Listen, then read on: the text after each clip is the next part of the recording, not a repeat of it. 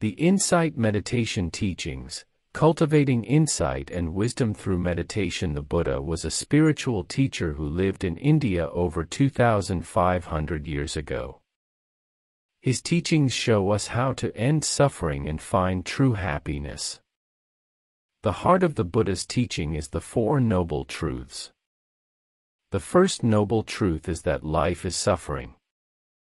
This doesn't mean that life is bad all the time but it does mean that suffering is a part of life.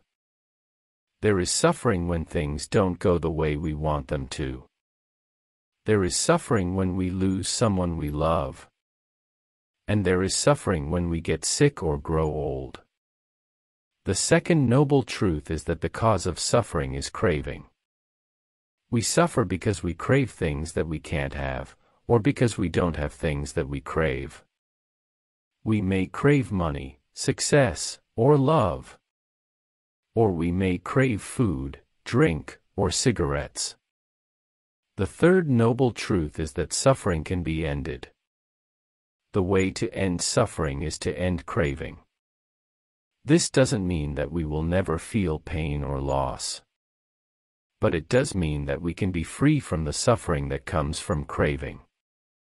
The fourth noble truth is that there is a path to the end of suffering. This path is called the Eightfold Path. It is a path of mindfulness, wisdom, and compassion. The Eightfold Path is the way to end suffering and find true happiness. It is a path of mindfulness, wisdom, and compassion. The path begins with mindfulness. Mindfulness means being aware of our thoughts, feelings, and actions in the present moment. It means paying attention to our breath and the sensations in our body. Mindfulness helps us to see the things that cause us to suffer. The path also includes wisdom. Wisdom is understanding the Four Noble Truths. It is seeing things as they really are. Wisdom is knowing that things are not permanent. And it is knowing that we can't have everything we want. The path also includes compassion. Compassion is caring about others.